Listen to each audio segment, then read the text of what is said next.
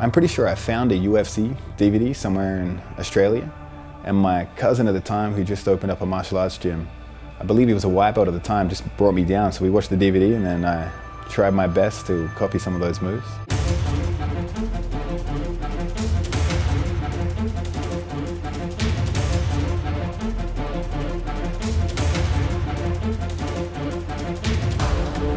Yeah, I was probably like still 11 years into jiu-jitsu thinking I'm probably never gonna make a dollar from jiu-jitsu, but uh, I guess after I beat Leandro Lo, I thought I'd be able to make some money off it.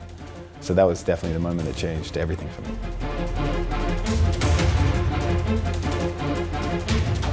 My first ever super fight, I got armbarred and the guy held onto the submission, almost broke my arm. And I remember that was the first time I had a professional event and like friends and family had come to watch and I obviously lost that one. So that was, was pretty hard to deal with. I wanted to uh, probably walk away from the sport, but I mainly wanted to get revenge.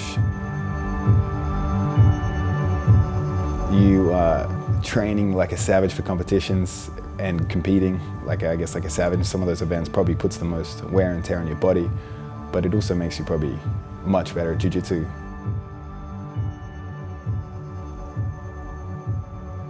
I wish I'd recognized the trend in jiu-jitsu progressing towards nogi and maybe started that a little earlier.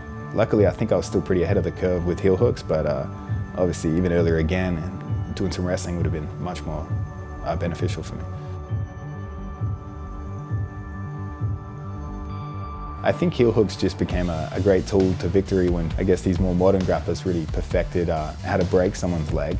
Then that was just a great tool to beat the gi guys. Like it was a void in the game that uh, could be utilized. And I don't necessarily know if that it'll be a sub coming next. I think it'll probably be more along the lines of good wrestling in these uh, tournaments.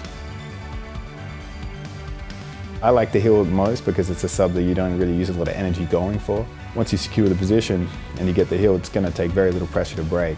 But uh, yeah, you don't lose, use a lot of energy missing this. That's what I most appreciate about it. I think generally speaking, there will just be waves of jiu-jitsu where like, I mean, 10 years from now, probably even make guys like uh, Gordon Ryan or like Andre Galvao look a bit, um, I guess, rudimentary in their moves, you know what I mean? Because everything should uh, continue to advance at this rate, especially as the sport grows more and more people get into it, more and more minds are in the sport. But obviously every now and then there's an anomaly, like uh, Roger Gracie went to MMA for what, five to 10 years and came back and still beat Buchecha. So every now and then there'll be interesting matchups with guys from a different time where if the old school guys win, that'll be a victory for all the old guys. for me, like I really like taking all these super fights and uh, using that to promote my name and uh, take on some pretty cool opponents, but I really want to win a major event like the ADCC. Because as it stands, I've beaten a few big names and won some cool super fights, but I've never taken a major title. So that's definitely the goal now, long-term goal. Hopefully I achieve that at this ADCC.